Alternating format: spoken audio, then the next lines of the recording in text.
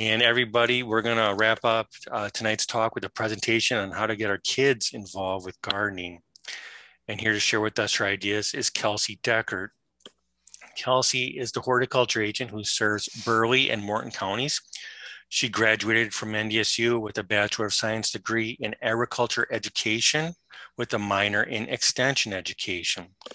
She loves answering questions from the public and she loves educating gardeners from all ages, including kids. So, Kelsey, welcome to the forums. Thank you, Tom. And uh, just thanks to everybody joining us tonight on the last session of the Special Topics of Spring Fever Forum. So as Tom said, tonight I'm going to visit with you guys about gardening with youth and focusing on ways to engage our youth and just briefly talking about skills that they will develop from gardening. So why garden with youth? As there's just so many benefits such as sensory um, stimulation, literacy, fine motor skills, farm to table, healthier eating and living. Extension and teachers across the state have found that there's a huge disconnect um, with our youth understanding farm to table and just really knowing the source of where their food comes from. Statistically speaking, youth don't eat the recommended amount, daily amount of vegetables and fruit, and they're not physically active enough on a daily basis. So even though I don't have a lot of experience gardening yet with my own children, um, I have gardened with all ages of youth um, through various programs, and one being the Junior Master Gardener program through Extension. And I'm going to share some stories about that tonight as well. And I'm just going to say, regardless of what kind of youth or the age of the youth, they are always going to be excited to have produce to take home. And they really do get a feeling of accomplishment seeing the whole process through from starting at seed. So to kind of start, um, like I said, youth will develop sensory skills in the garden, especially if they're younger, seeing some of the plants for the first time. I have a picture of my daughter from last year. She's going to be about two this year here at the end of the month, but it's a great option to let children explore with taste, smell, feel, and touch. And like I said, a garden's going to provide a lot of variety for each youth to explore, explore with their sense, their senses. Um, so definitely get them out there, get them exposed to those plants and the different vegetables. Now, with gardening with youth, you can improve literacy um, there's so many garden booked themed or themed books available. I just shared kind of on this slide some different ones that are out there. And again, if any of your children are like my daughter, who's going to be two, she loves when we sit down and read. Um, and she loves looking at the pictures and, you know, even just I guess, learning a little bit bigger vocabulary. And then older youth, when you do read with them too, they're going to understand the theme within the book and they're going to connect it back to the garden or vegetables that they're growing. So, again, just a few different books, but definitely go out there and explore. There's a ton of them. So a great way to start off gardening with youth is to start seed with them. It's a really fun way for them to see how plants and transplants um, that are available in the store started. And to make it more engaging, explore different options for containers. So eh, on this photo, you can see you could use coffee filters, yogurt containers, um, toilet paper roll holders, egg cartons, egg shells, even newspaper. I've seen some other options as far as even ice cream cones. So there's just a lot of options more than just your traditional trays. And if you've never started seeds on your own, it's a great way for both you and your youth to learn and explore together. Making, making gardening fun for youth is really easy today. You can purchase kid size garden tools, gloves, almost anything. And with younger youth, again, they're going to just love that they can match you, whether it's they're matching grandma, grandpa, mom, dad, aunt um, even just anybody. And so you can see again in this picture, you have some tools and gloves, but you also have other ways to explore further in your garden. So, you know, looking at bugs, even looking for butterflying nets. Um, the root viewer is really nice, especially to explore like fibrous versus tap roots with your youth. And in today's market, there's so many um, products that are geared with the popular characters that kids are familiar with. So anytime they have it on there, a favorite character, they're going to gravitate gravitate towards that item and they're just going to love it regardless of what it is. The best way to show and explain to youth um, is to give them the actual tools, maybe go through like an identification of the tools, and then you demonstrate how to use it and have them themselves also try it as well. So this is going to be a good way for them to develop their motor skills along with encouraging that learning and even just like I said, tool identification. So there's nothing wrong with having your kids play in the dirt while you garden, but it's going to be best if you have them help you and work in the garden as well. So the process of digging, planting, weeding, it's going to give them like a tie into the garden process.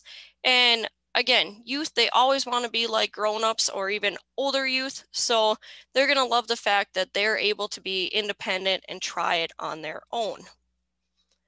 You don't have to just do traditional garden. Um, you can explore other types as well. So a great option is square foot gardening. It's going to be a great way to maximize the space you have. Youth are going to learn the overall concept um, of the space required by plants and how many plants you can fit into one square foot. And so uh, the first little tidbit, I guess, of a story I want to share is this was one of my junior master gardening programs that I had a couple years ago. Um, I garden with a group of kids out in Wing, North Dakota. And as you can see, we did have an in-ground garden, but we also utilized the concept of square foot gardening. So again, you can create that not only with raised beds, but you can put it in the ground as well. Um, just make sure rather than the pictures I have that those strings are really nice and tight, especially with the North Dakota winds that we have. And another project that you can take it a step further with youth is again, if you want to start seed with them, um, I definitely with them actually did kind of a project before we actually put the plants in the square foot. Um, you can go and get paper towels, which they're a little bit smaller than one square foot, but they're pretty close. And then we explored the different sizes. So like extra small plants, um, radish, carrots, onions, you could place easily 16 seeds on there and space them nicely. Smaller plants, which are gonna include our um, beans, spinach, and uh, beets, you could do nine. Medium plants were about four, so that would include lettuce, strawberries, and turnips. And then your large plants would be one per square foot, and that would be tomato, eggplant, and cabbage. Extra large plants are going to require more than um, one square foot, and that would be like your squash, your melons, um, those that are definitely going to go out of a square foot. So Another popular option out there would be container gardening, and this is going to work well for those who, again, are limited with space. They maybe live in an apartment or even like a independent living or some similar setting. It's going to be a great option um, if the youth are gardening with maybe elderly, so like grandparents, or even those who have a physical disability because you can raise it up. Another style to explore as far as a garden would be considering theme garden. So theme gardens is a type of gardening that in, revolves around one theme, such as an herb garden. Some other popular options would be pizza garden, a salad garden, or even flower gardens. And again, using these themed gardens, it's going to explore what plants you need as far as ingredients to create a final project, and it's going to help bridge that gap of field to table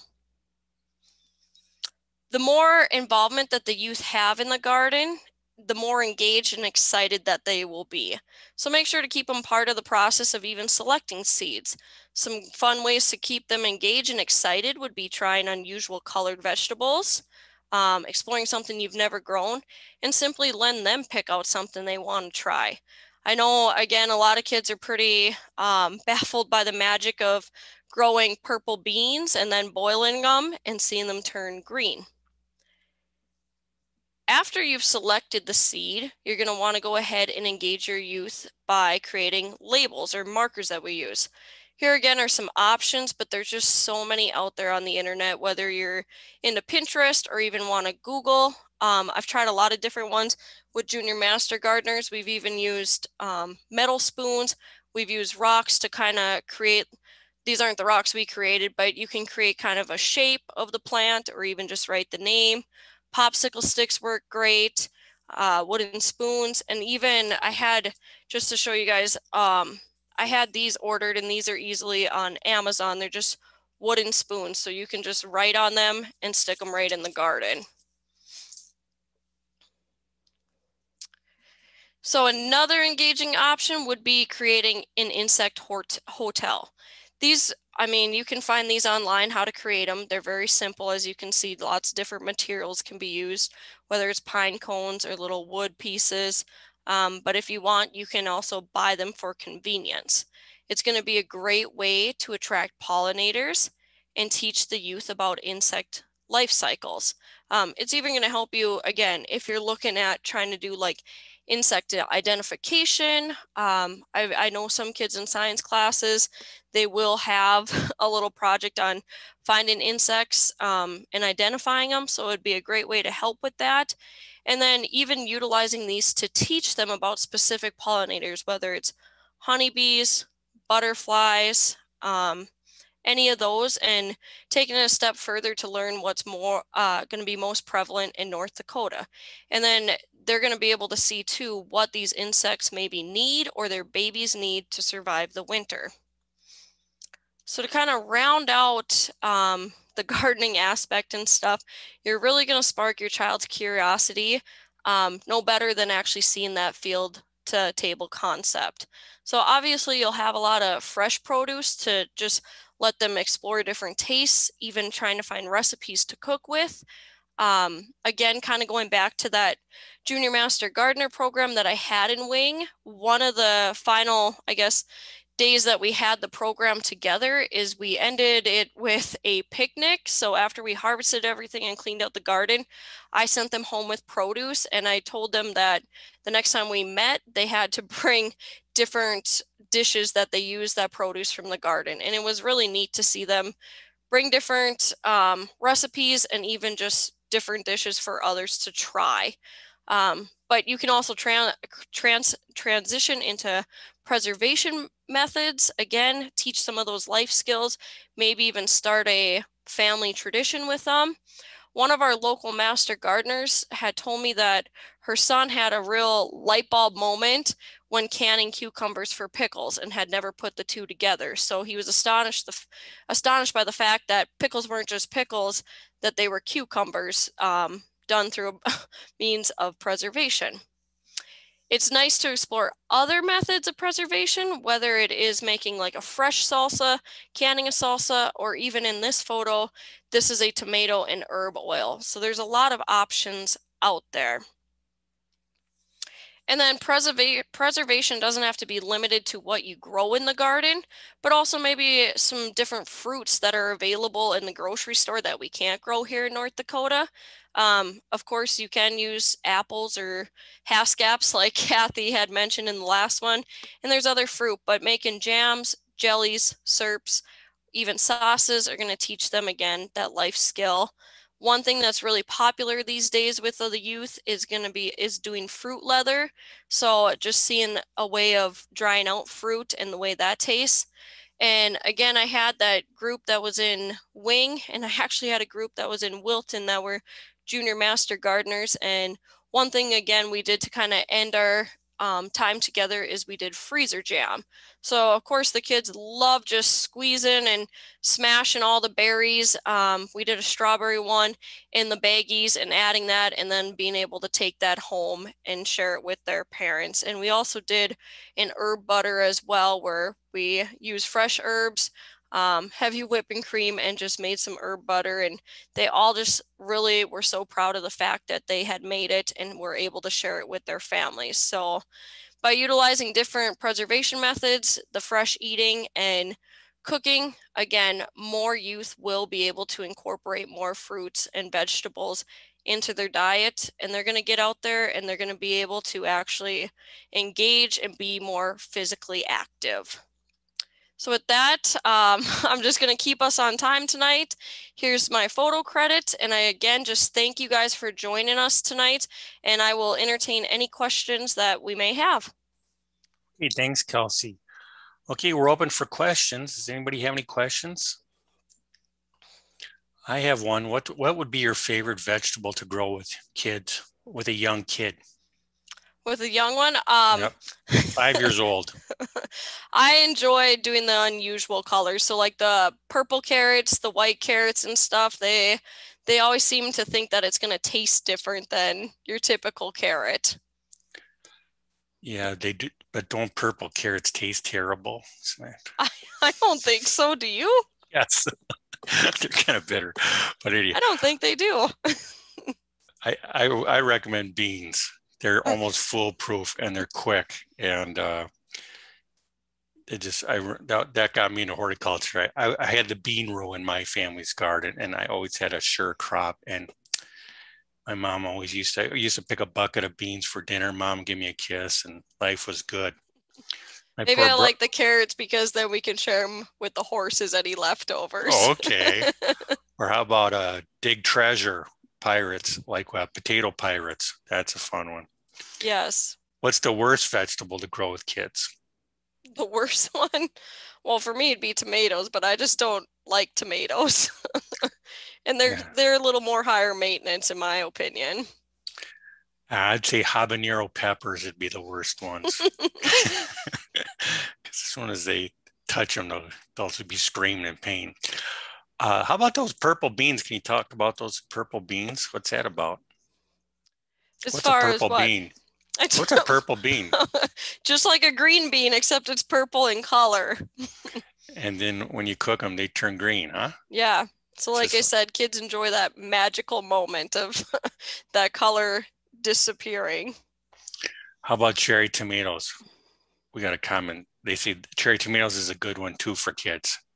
I think you again would agree with that. You're very Oh yeah, you hate tomatoes. Sorry about I'm not that. a tomato person. Yeah. Uh, anybody else have any ideas or about favorite vegetables or You know, I know you always come down on zucchini, but I enjoy it because guess what? You can do so many things, whether it's savory or sweet recipes. Um, it's great. I know you always joke that people can't give it away, but I respect zucchini. I best thing about zucchini for kids is when they get too big, you can carve them and make a boat out of them. You carve them and they float. You can put a mast on them and you can have recreation with them besides and that's about all they're good for when they're old, when the zucchinis are old. You can play with them. Pumpkins are a joy. How about that? We got somebody who likes pumpkins. Pumpkins are great because uh, this is something I learned in the last couple years. Um, and again, some community gardeners and master guards ha- gardeners had explained this to me. But with youth, you can actually scribe pumpkins. So as they're growing, Mm. if you scratch in them, like either a shape or your name, as they grow out, that's going to scar over. And then when you get a large pumpkin, you're going to see that really nice and clear on them. Yeah, so cool. again, kind of a fun activity to do with your kids. Okay, this uh, mother likes to grow peas with their kids because the kids like to open them up, just like with the zipper, you know, just zip, shut them. It's kind of fun. Then you eat them. Got to eat them in the garden, right? That's right. The problem with peas is that they ripen on the Fourth of July, and then you don't, you can't go to the fireworks. You spend the whole day shelling peas. I hate peas for that. What do you do about teaching kids about uh, controlling insects? As far as, you know, when I've worked with youth and stuff on that, we do a lot more of identification and then talking about even just like some natural predators. So discussing, you know, not all bugs are bad. You don't have to freak out when you see them um, on the ground and, and really identifying those that are going to be able to eat other bugs within your garden. I mean, of course, if you're working with an adult audience, you can talk more about maybe some of the chemical approaches, but with youth i don't ever we don't we don't ever explore really into the pesticide aspect we just do more identifying natural ones and talking about ways that we can protect our produce Yep, I agree with that. It's uh, kids like to like to spray bugs though, but it's just not safe. How and uh, what else? How about you ever grown gourds? And you can paint them like those swan gourds. That's kind of cool. Yep or the birdhouse gourds There papa's go. pumpkin patch always offers those This person paints tires to be container gardens. and use slats from old mini blinds for row markers. Oh, there you go. The slats that's a good idea. blind. Yeah, there you go. uh, kids, uh, who can find the biggest worm? That's a fun one. Who can go digging for worms? Who can find the biggest weed? Big pumpkins. These are all great ideas. Tom, and what do you always recommend for large pumpkins for kids? I know you got some specific varieties. Maybe you want to share. Oh, I think the best. I think the well, I like the big ones. Kids mm. like the kids like big ones. So big moose is the best one because I mean you can just grow a giant pumpkin like the Atlantic giants, but those are tan and lopsided and they're ugly. And they get too big, you can't get them out of the garden. You need a tractor to get them out of the garden. So I like the big moose. You just you plant them and then the, they get 50 pounds and the kids can just roll them and it's it's kind of I'm a fun. all over them. Yeah, that's good. Um, does anybody else have any comments or questions? Any favorite recipes, Kelsey, that could trick kids to try different vegetables? Hmm, good idea.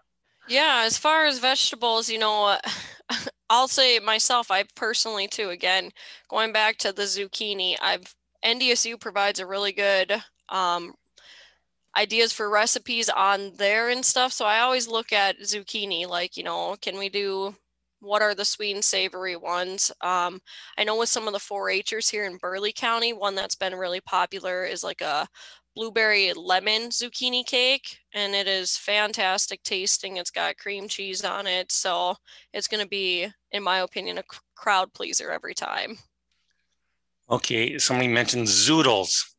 I don't know what a zoodle is. well that'd be it just i i've never done them myself but yeah you can get the veggie spirals and then create mm. Zoodles which are zucchini noodles and it's Mm. an easier way to have you know low carb a little bit healthier eating within Sounds and people use them in spaghetti and i know you talked about like the zucchini carving it out for a boat but people have done even um i have a friend that does zucchini boats and she does like she'll do like spaghetti meat on top and cheese or even um taco meat and kind of create them that way Okay, that sounds good. Okay, those are all good comments. And Kelsey, I want to thank you for that fun talk at the end. I really enjoyed it. It brought a lot of good memories with my kids to mind. And uh, I really enjoyed your talk. A lot of photos, great information. Thank you very much.